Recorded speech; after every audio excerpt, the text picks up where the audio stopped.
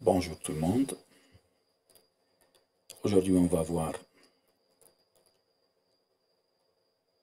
le cours d'hydrostatique, partie 3. Dans cette partie 3, on va voir ce qu'on appelle la pression hydrostatique. On va donner l'équation fondamentale de l'hydrostatique. On passera ensuite au principe de Pascal et enfin les vases communicants. Commençons par la pression dans les liquides. Quand un objet rentre soit immergé dans un liquide, comme vous pouvez le voir ici, par exemple la baleine. Cette baleine sera, sera sous pression. Ça veut dire que le liquide, ici, euh, l'eau, ou le liquide de la mer, c'est l'eau salée, exercera une pression, ce qu'on appelle la pression hydrostatique. Cette baleine subira une pression dans toutes les directions. Ça veut dire quoi? Ça veut dire que il y aura une pression dans cette direction, il y aura une pression dans cette direction, une pression dans cette direction, et ainsi de suite, dans toutes les directions où il y a une surface commune entre la baleine et l'eau, elle subira une pression. Et donc, sur le long euh, de son corps, ici aussi, dans toutes les directions possibles. C'est ce qu'on appelle la pression hydrostatique. Donc, tous les objets subiront cette pression hydrostatique. Comme, vous pouvez le voir ici, tous les objets, que ce soit les animaux ou autre chose.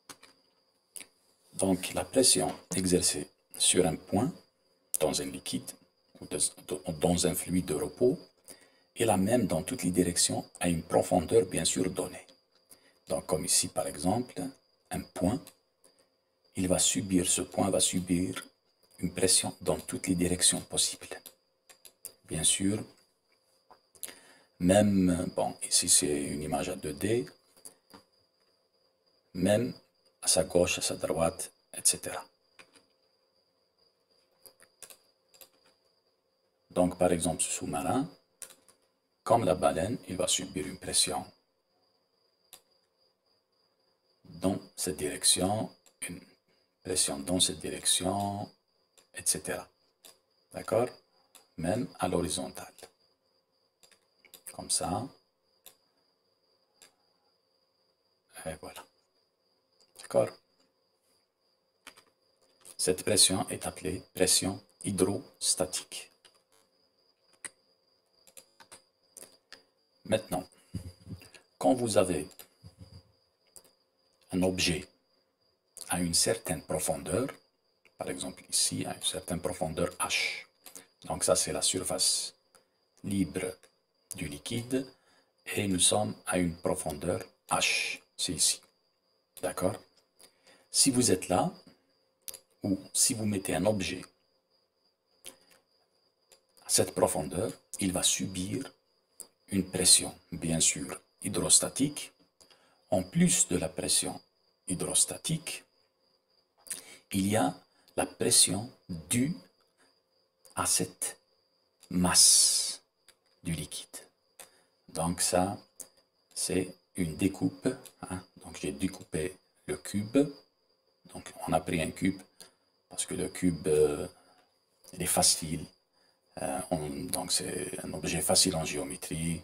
Pour calculer sa, sa, surface ou pour calculer son volume.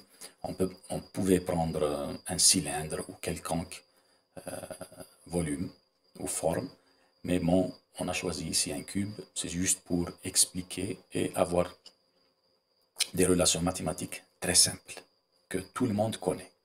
Donc, le volume d'un cube, c'est son côté au cube. Donc, la valeur de son côté, sa longueur au cube. Donc, imaginez qu'on prend ce cube, donc la masse de ce liquide euh, formé par ce cube va exercer une pression sur l'objet que vous posez ici. Ça veut dire à la profondeur H. Cette masse, si nous sommes proches ou à la surface de la Terre, donc dans le champ de pesanteur de la Terre, cette masse fois l'accélération de pesanteur de la Terre vous donnera le poids. Le poids, comme vous le savez, c'est une force. Donc le poids de ce cube, pardon, donc ça doit être perpendiculaire si vous voulez. Donc le poids près de ce cube, donc P, divisé par la surface d'application. Hein? Donc cette surface, cette surface je l'ai mis ici en jaune, c'est exactement la même surface ici. Hein. Donc, je ne pouvais pas la mettre ici pour ne pas euh, euh, tuer les perspectives. Donc, je l'ai mis ici. C'est un cube, donc toutes les surfaces de ses côtés sont égales.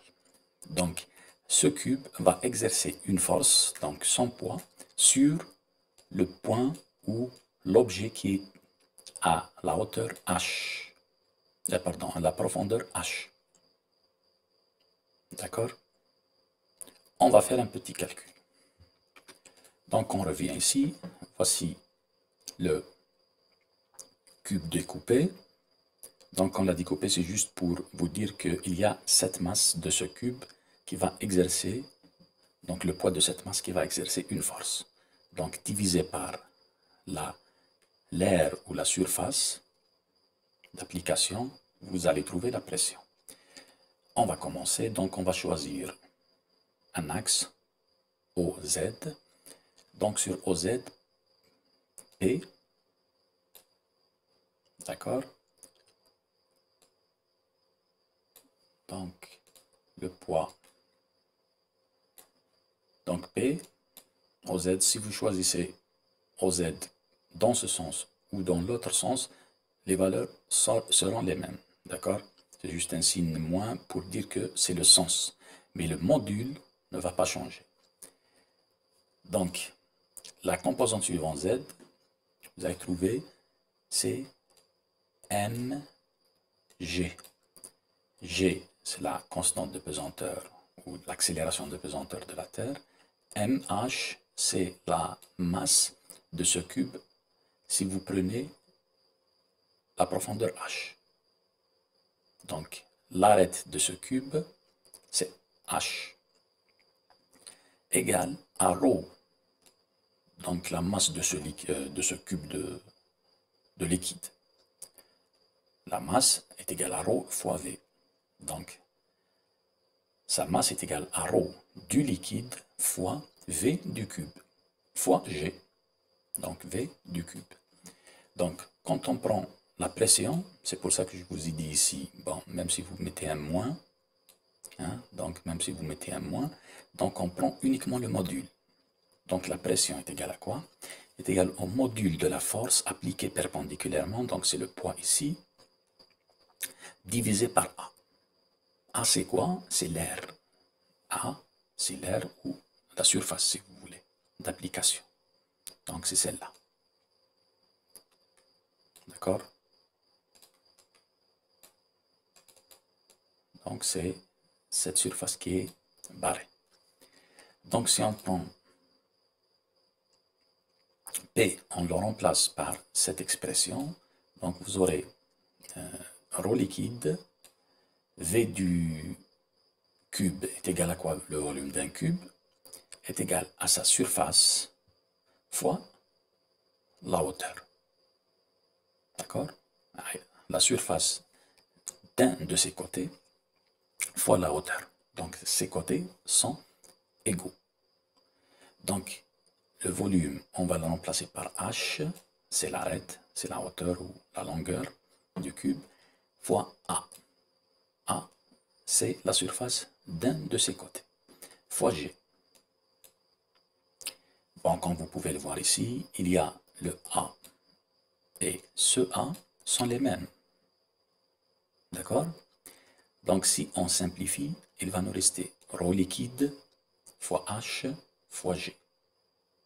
Généralement, on l'écrit ρ fois G fois H. Pourquoi? Pour dire que, tout simplement, ρ du liquide est une constante, G c'est une constante si nous ne changeons pas de planète. Donc c'est une constante où elle varie mais faiblement, très faiblement. Donc on va la prendre comme une constante. Ce qui varie, c'est la hauteur h. Donc généralement dans une fonction, quand on écrit, on écrit les constantes hein, et la variable à la fin. C'est pour cela que dans les livres, vous allez trouver la pression est égale à ρ, g, h. Vous n'allez pas la trouver ρ, hg. C'est tout. C'est une, une, question euh, de variable. Parce que h c'est une variable. C'est la seule variable qui existe ici. Donc ρ c'est une constante, g c'est une constante. Il y a uniquement h qui est une variable. Généralement, quand on écrit f de x est égal à 2x, euh, on n'écrit pas x fois 2. On écrit 2 fois x. Donc la variable, on la, laisse à la, dernière position. C'est tout. Qu'est-ce que vous remarquez dans cette expression P égale à ρ fois G fois H? C'est que la pression dépend uniquement de la profondeur. Elle dépend uniquement de la profondeur. D'accord? De la profondeur ou si l'objet est ici, elle dépend de la hauteur. Donc, euh, tout dépend de la position où vous êtes. Si vous êtes à la surface de la mer, ou la surface libre du liquide, l'objet est ici, donc il est à une profondeur donnée. Maintenant, si on prend, euh, si nous positionnons, nous positionnons sur la position d'objet, c'est une hauteur. D'accord? Pour pouvoir trouver l'équation fondamentale de l'hydrostatique, c'est très simple. Comme vous pouvez le voir dans ce schéma, il faut choisir deux points ou deux hauteurs différentes ou deux profondeurs différentes. On va choisir par exemple A, le point A. On va choisir le point B. Et celui-là, H est égal à 0, ça veut dire que nous sommes au, au, fond du récipient ou au fond de la mer, si vous voulez. Si on prend la différence de pression entre A et B, donc entre A et B, on va calculer cette différence de pression. D'accord? Donc PA. PB. Donc PA est égal à combien? On a dit que PA est égal à ρ du liquide fois G fois HA. D'accord Fois HA. PB est égal à combien C'est ρ du liquide fois G fois HB. Donc maintenant, si on fait la différence, on va trouver quelque chose qui est égal à ρ du liquide fois G fois HB moins HA. D'accord À la fin, nous allons trouver que la différence de pression, donc c'est ça l'équation fondamentale, de l'hydrostatique, la différence de pression elle dépend uniquement de la différence des hauteurs ou des profondeurs, comme vous voulez. Donc la delta P est égale à ρ G delta H. D'accord? Maintenant, il y a ce qu'on appelle un mnémotechnique. si vous avez un mnémotechnique, c'est juste pour utiliser la mémoire pour donc on utilise notre mémoire ou un, objet ou une image pour euh, mémoriser quelque chose d'autre. Donc on appelle ça mnémotechnique. Donc si vous avez même niveau, même liquide, vous aurez certainement même pression. Ça veut dire quoi? Si vous avez même niveau, même niveau, ça veut dire quoi? Ça veut dire que HA est égal à HB, même niveau. D'accord? Même hauteur, même profondeur, si vous voulez. G, c'est une constante. Si vous avez un même liquide, c'est le même liquide. D'accord? Ça veut dire que la pression au point A et la pression au point B, si nous avons euh, la même, le même liquide et la même hauteur, pas comme ici, hein. ici il y a une différence de profondeur ou de hauteur. Maintenant, si A est au même niveau que B, vous aurez, nous sommes sûrs et certains que nous aurons la pression au point A égale à la pression au point B si la condition est satisfaite. Ça veut dire que la même hauteur et le même liquide. Donc, même niveau, même liquide, même pression. Exemple, euh, comme ici dans le schéma, HA, on va prendre sur la même ligne, on appelle ça une ligne isobare. Ça veut dire qu'on a même, euh, le même niveau et la même pression. Pourquoi? Si vous avez, nous sommes dans le même liquide et nous sommes à la même hauteur. Donc A et A' ont la même pression. Ça veut dire donc c'est une ligne, on appelle ça la ligne isobare. Donc tous les points qui se positionnent sur cette ligne, ils auront tous la même pression. D'accord? Il faut se souvenir d'une chose, que si vous avez le même niveau, donc même niveau, même liquide, le rond ne change pas, la hauteur ne change pas, donc vous aurez certainement la même pression. Donc ça, il ne faut jamais l'oublier. Exemple d'application. Soit c'est différents récipients. Donc le récipient A, le récipient B, le récipient C, le récipient D. Donc vous avez, vous avez aussi le même liquide. Hein. Même liquide, même liquide et le même liquide dans différents récipients. Imaginez que c'est de l'eau par exemple. Les récipients, ils ont différentes formes, différents diamètres. D'accord? Maintenant, si on, on se positionne ici, au fond du récipient, donc on met un capteur ici ou on, met quelque chose qui, nous mesure la pression, hein, donc au fond des récipients, et les récipients ils sont au même niveau, hein, donc euh, leur fond ils sont au même niveau, ça veut dire que ces points ils sont, ils sont au même niveau. À votre avis, donc on donne une petite question, dans quelle vase pourrons-nous mesurer la plus grande pression au niveau des points noirs, donc ces points, les quatre points. Donc, dans quel récipient va-t-on mesurer la plus euh, basse des pressions Nous avons dit, ou l'équation fondamentale de l'hydrostatique nous donne que la pression dépend uniquement de la hauteur ou de la profondeur si vous voulez. D'accord? Elle ne dépend pas ni du diamètre du récipient, d'accord, ni de sa forme. Elle dépend uniquement de la hauteur. Si vous avez une grande hauteur, plus longue, vous aurez une grande pression. On va dire par exemple le récipient A. Sa hauteur, donc on va sa hauteur, elle est là. Le récipient B, sa hauteur, elle est là à. Donc le récipient C, sa hauteur, elle est là.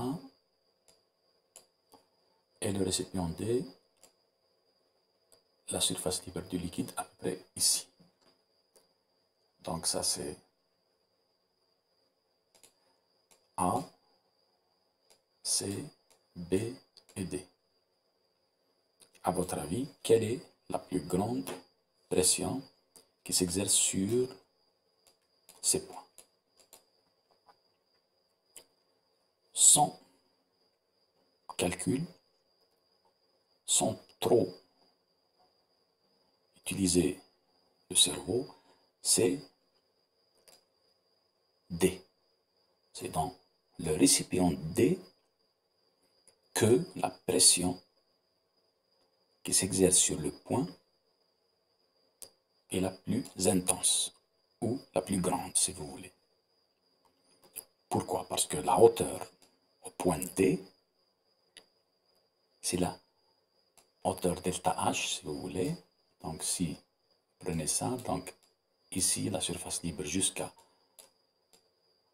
notre position, c'est la plus grande, c'est la plus longue distance. Donc la hauteur, c'est la plus grande hauteur.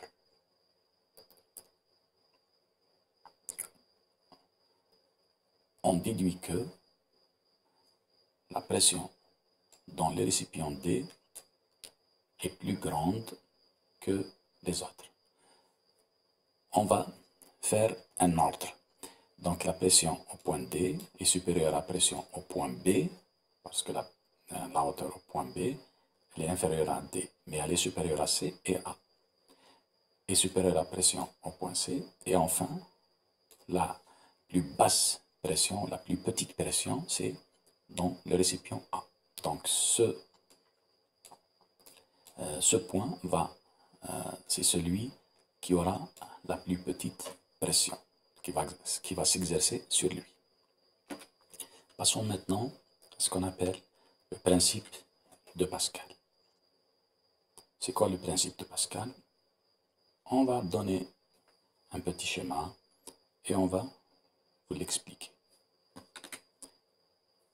Donc le principe de Pascal, on donne ici une petite définition. Si, une pression externe est appliquée sur un fluide confiné, hein, donc celui-là, il ne faut pas l'oublier. Donc confiné, la pression en chaque point,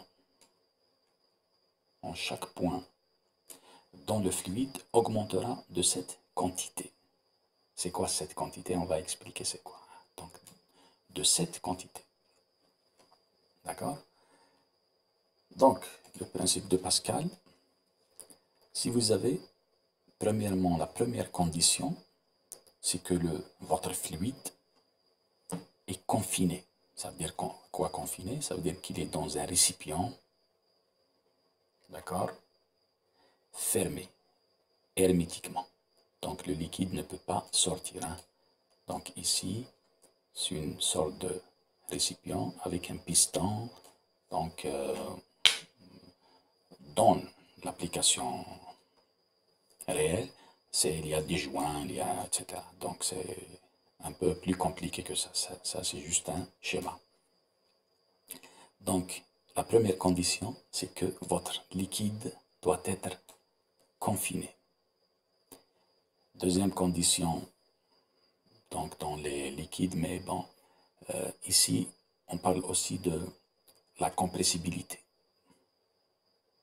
Généralement, euh, dans les applications réelles du principe de Pascal, on utilise des huiles qui ne sont pas compressibles, ou leur euh, compressibilité est vraiment très très faible. D'accord Mais pour vous, il suffit de, euh, de se remémorer le mot confiné. D'accord C'est la condition. Maintenant, si vous avez un liquide, ici, et vous appliquez une force. C'est une force externe sur le liquide. Donc ici, le piston, il bouge. Peut aller comme ça dans ce sens ou dans l'autre sens. Donc on applique une force. et on comprime le liquide. Si on fait ça, qu'est-ce qu'il dit le principe de Pascal? Donc si une pression externe est appliquée, donc ça c'est la pression externe, donc ça c'est la pression externe. Donc c'est la force divisée par la surface, ça vous donne la pression externe. Appliquée sur un liquide qui est confiné, la pression en chaque point dans le liquide augmentera de cette quantité. Ça veut dire quoi? Ça veut dire que si vous êtes au point A, juste à la surface libre du liquide, si vous avez une pression d'origine avant l'application de la force externe, euh, de la pression externe, ça veut dire que vous allez avoir PA. Au point 2, vous allez avoir P2 avant l'application de la force externe ou de la pression externe hein, avant. Donc, au point 3, P3, etc. Donc, euh, ici, on a choisi 5 points. Maintenant, si on applique une pression externe, si on va recalculer ou remesurer la pression A après avoir appliqué la pression externe, on va trouver une autre pression. La pression va être augmentée. La même chose au point 2, la même chose au point 3, etc. En chaque point du liquide, ici, ici, ici, etc. Et cette pression, elle va augmenter de combien? De PE. Chaque point aura une augmentation de sa pression de PE. D'accord C'est ça le principe de Pascal. Donc le principe de Pascal, il y a une condition pour le liquide, il doit être confiné. D'accord Maintenant, si on applique une, pression externe, en chaque point de ce liquide confiné, d'accord Vous allez avoir une augmentation de la pression dans ces points, et cette augmentation sera égale à la pression appliquée, à la pression externe. Donc, cette quantité, ça veut dire quoi? C'est la quantité de la pression externe.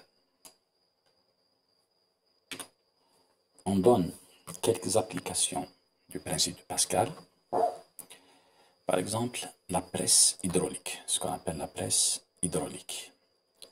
Le fonctionnement d'une presse hydraulique est basé sur le principe de Pascal.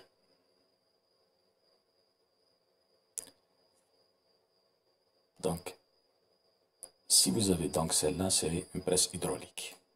C'est le schéma d'une presse hydraulique, bien sûr. Donc, euh, la vraie presse hydraulique, il y a tout un câblage, tout les, flexibles avec le moteur, etc., etc. Donc de l'huile. Maintenant, ça c'est juste un schéma. Imaginez que vous voulez soulever, pardon, un avion, cet avion, par exemple.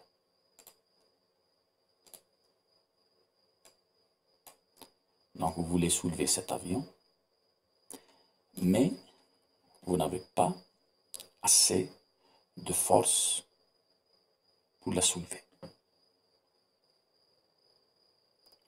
Donc, si vous n'avez pas, donc vous êtes tout seul au garage ou dans l'atelier, vous voulez soulever une masse, une grande masse. Donc, vous aurez besoin soit de l'aide, donc il y aura des collègues ou des amis qui vont venir vous aider, s'ils peuvent bien sûr, ça dépend de la masse. Donc un avion, ça pèse, celui-là, le Cessna par exemple, il pèse à peu près 400 kg. Donc 4 kg. Donc pour pouvoir le soulever,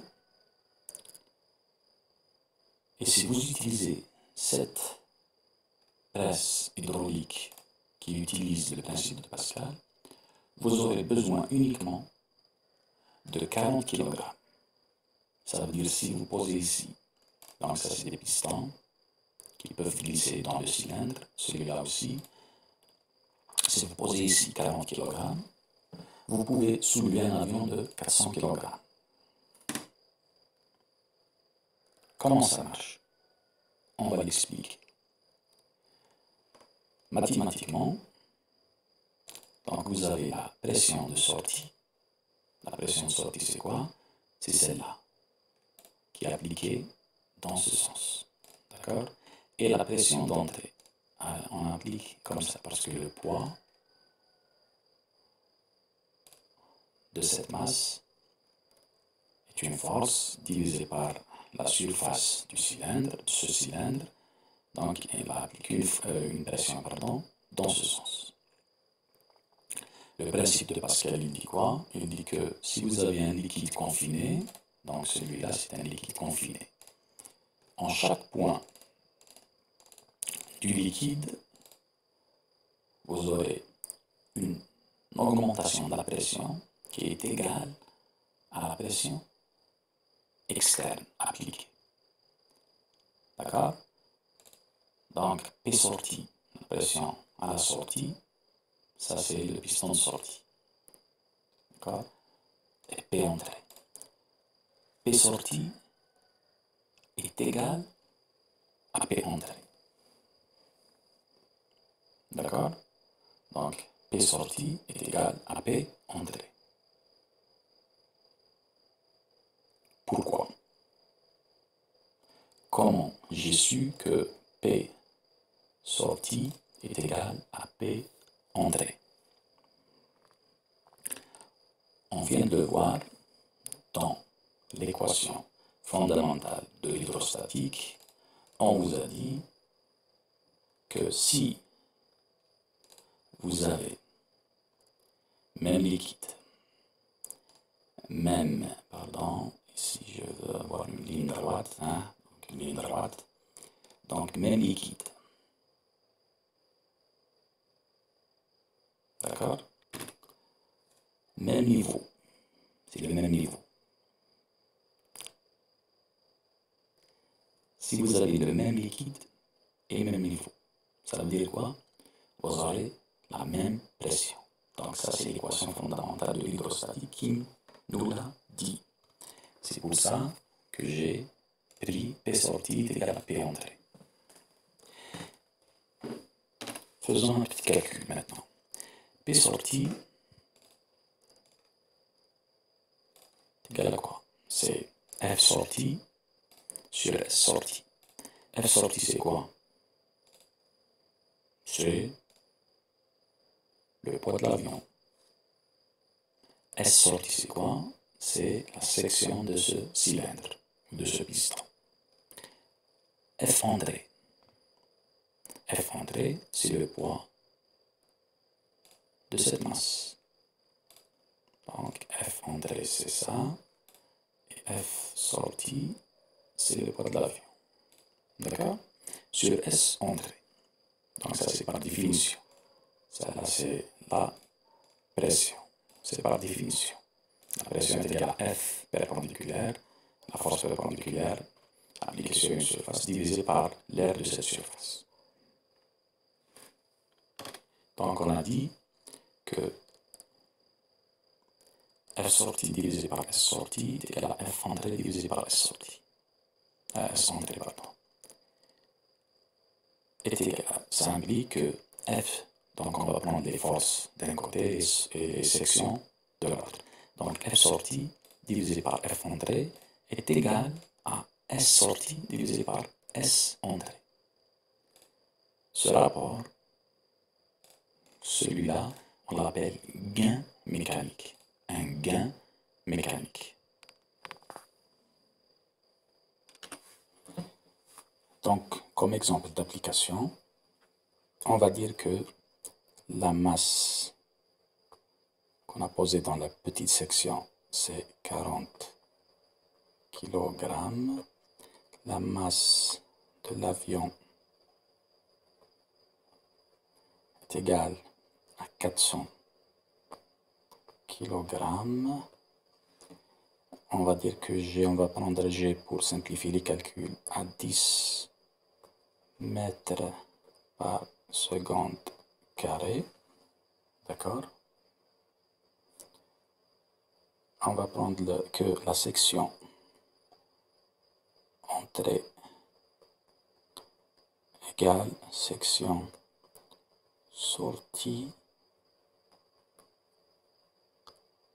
égale. Donc, j'ai mis 40 kg.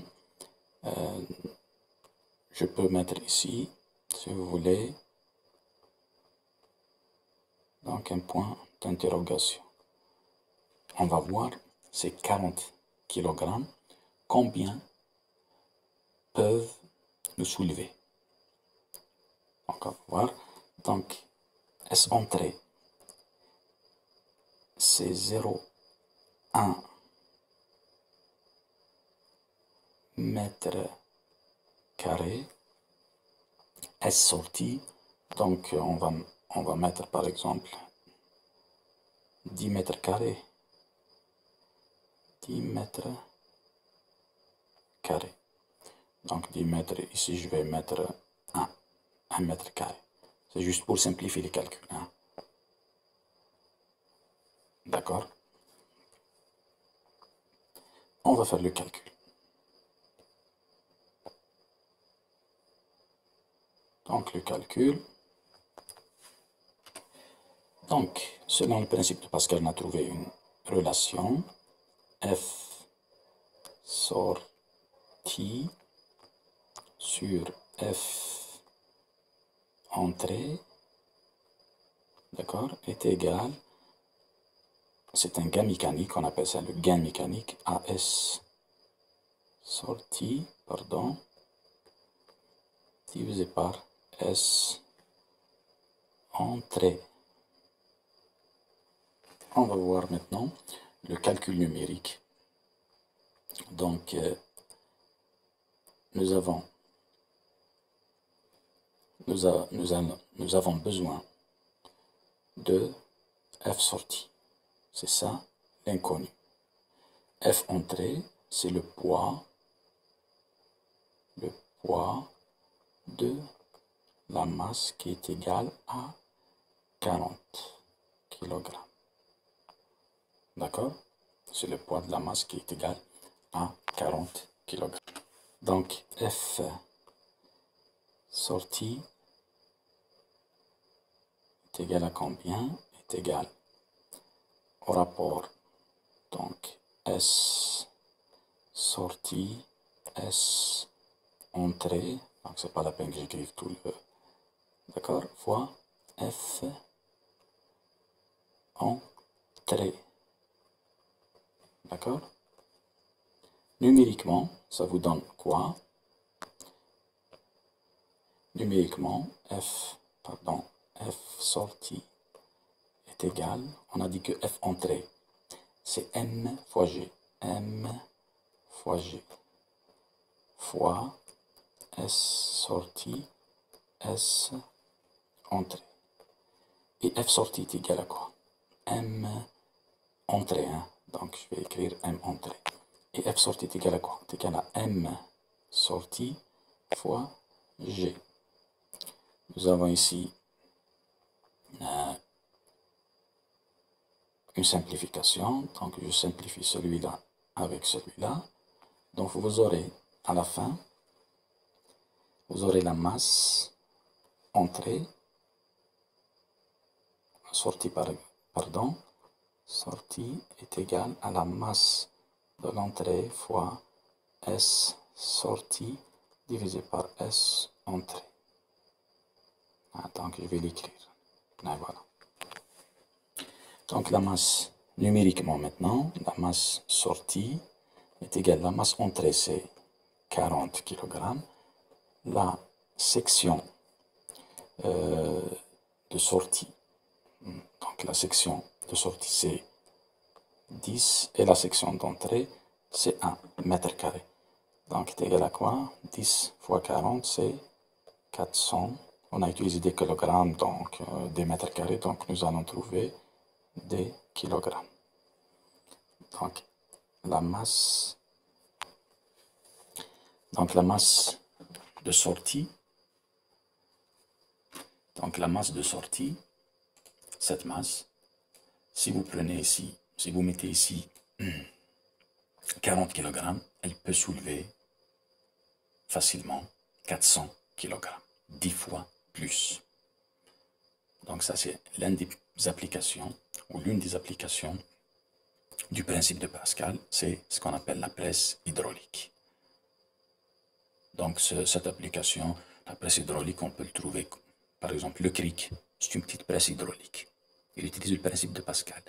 Le chargeur ou le rétrochargeur qu'on a vu dans la première partie du cours, euh, aussi, il utilise le principe de Pascal. Autre application du principe de Pascal, ce qu'on appelle les manomètres. Manomètre. Le manomètre, c'est quoi? Euh, C'est une sorte euh, d'outil ou d'instrument de mesure de la pression. On l'utilise dans les machines, dans les usines, dans, euh, dans n'importe quel domaine donc, où il y a la pression, vous voulez mesurer la pression, vous avez besoin d'un manomètre, c'est tout. Donc le manomètre le plus simple, le plus basique qui existe, c'est celui-là. Donc c'est quoi? Il est formé d'un tube en U et d'un ballon. Donc le tube en U, l'un des côtés est fermé et il y a du vide ici. Hein? Donc ce n'est pas la pression atmosphérique. Et l'autre, c'est ouvert. Si on met un ballon, c'est si euh, on met euh, de la pression dans le ballon, on il y a la pression dans le ballon, ça veut dire le pneu par exemple, le pneu de la voiture, on branche le pneu de la voiture dans ce manomètre. Donc ce manomètre c'est juste le tube en U. Donc on branche le pneu de la voiture dans le manomètre. Le pneu de la voiture, il y a une grande pression. D'accord? Il va pousser le liquide ici. Il va pousser, il va monter. Donc s'il n'y a pas de ballon, donc le liquide aura les mêmes niveaux dans les deux branches. Maintenant, s'il y a la pression ici qui s'exerce sur la surface libre de ce liquide, le liquide va monter dans l'autre branche. Donc, nous allons avoir ce qu'on appelle une dénivellation, delta H. D'accord? Nous allons avoir ce, cette différence de hauteur, delta H. Maintenant, cette différence de hauteur, elle est proportionnelle, donc la pression, pardon, elle est proportionnelle à cette différence de hauteur. D'accord Elle est proportionnelle. Donc, si vous me donnez la différence de hauteur, je peux vous calculer la pression. Donc ça, c'est euh, ce qu'on appelle le manomètre. On passe maintenant au ce qu'on appelle les vases communicants. Donc, je donne une définition ici. Donc, les vases communicants sont des récipients, c'est des récipients hmm, de forme quelconque. Donc, ils ont des formes quelconques, ouverts à l'air libre et reliés entre eux. Comme vous pouvez le voir dans ce schéma, donc les, euh, vases communicants, c'est quoi? C'est des récipients. Donc le premier récipient en cylindre, le deuxième sous forme conique, troisième sous forme conique mais inversée, et le dernier sous forme quelconque. Donc, ça, ils sont reliés, pardon, à leur base ils sont reliés. Donc, le liquide qui est ici, c'est le même liquide ici, etc. Donc, le liquide, il peut euh, se déplacer avec aucune frontière. D'accord? Ça veut dire quoi? Lorsqu'on verse un liquide dans le premier récipient, par exemple, on va verser ici un liquide, le liquide va se déplacer dans le premier, dans le deuxième et dans tous les autres récipients. Et quand, euh, on remplit par exemple le premier euh, récipient, ce liquide il va se déplacer et il va monter dans tous les récipients. D'accord? Il va monter. Et quand on arrête le robinet ici, d'accord Il va se stabiliser. Et l'important ici, c'est que le liquide, dans tous les récipients, pardon, ici, d'accord C'est le même niveau. Ils sont tous, donc la surface libre du liquide, elle est au même niveau dans tous les récipients. Donc, je, vous cite le principe de, du vase communicant. Donc, lorsqu'on verse un liquide dans l'un des vases, le liquide se répartira dans les autres vases jusqu'à ce que les niveaux libres, cela, niveau libre, d'accord, etc., du liquide dans les divers récipients se trouvent dans un même plan horizontal. Donc, il y a diverses applications. Donc, par exemple, dans les maisons, on utilise des siphons. Il y a aussi ce qu'on appelle les écluses, indicateurs niveau, etc.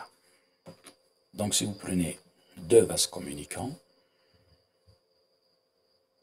donc ici c'est le premier vase et le deuxième vase c'est celui-là. Ils sont reliés, d'accord? Si vous prenez euh, le deuxième vase, il est à la même hauteur, donc cette ligne, que le liquide euh, qui est dans le premier vase.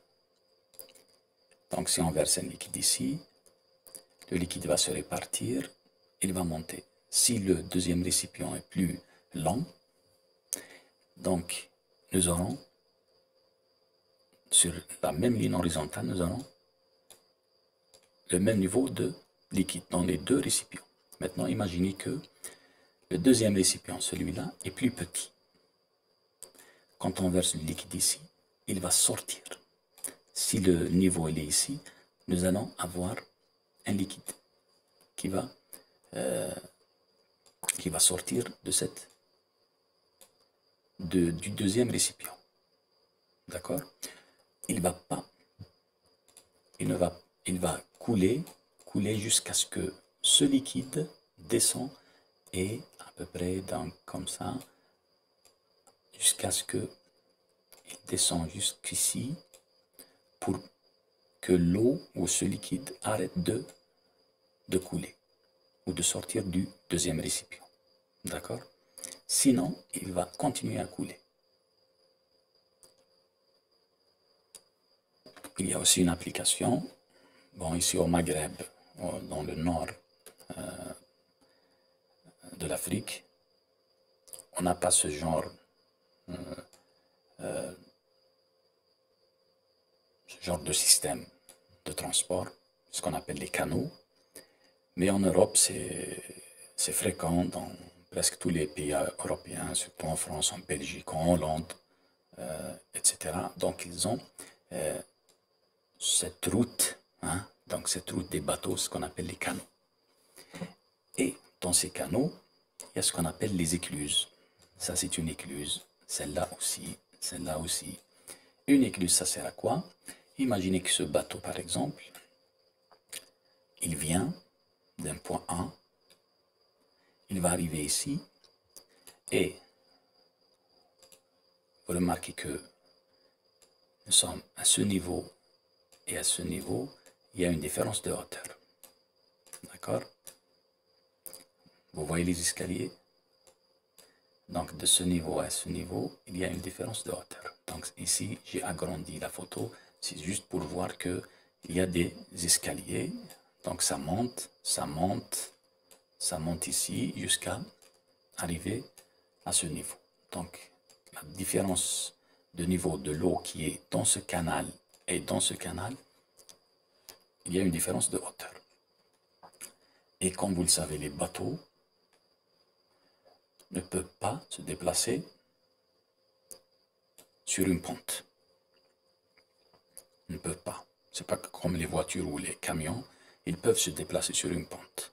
Soit une pente euh, du haut en bas ou de haut vers le bas. Les bateaux, non. Ils doivent toujours être à l'horizontale. comment alors faire euh, déplacer ce bateau d'ici, de ce canal, jusqu'à l'autre canal avec une différence de hauteur. Comme vous pouvez le voir ici, les escaliers. Hein. Parce que c'est une image à 2D, donc euh, c'est difficile de voir la différence de hauteur. Il n'y a pas de perspective. Maintenant, ici, vous pouvez voir à peu près, c'est les escaliers, donc ça monte. Comment prendre ce bateau et le mettre ici? Il y a ce qu'on appelle les écluses. Les écluses, c'est quoi? C'est uniquement c'est des espaces comme ça, bloqués par des portes. Donc ce bateau va rentrer ici, il va attendre euh, que l'eau monte. Donc on ferme celui-là, on ouvre cette porte. Parce qu'elle sera au même niveau que la deuxième écluse. Donc le bateau va se déplacer dans la deuxième écluse, on va fermer la porte, on va faire monter le niveau d'eau ici jusqu'à ce qu'on arrive à la même hauteur que le niveau d'eau ici, dans la prochaine écluse. On va ouvrir ça, donc celle-là il est fermée, on va ouvrir ça. Donc le bateau peut se déplacer dans la l'autre écluse, et ainsi de suite. Donc comme vous pouvez le voir ici,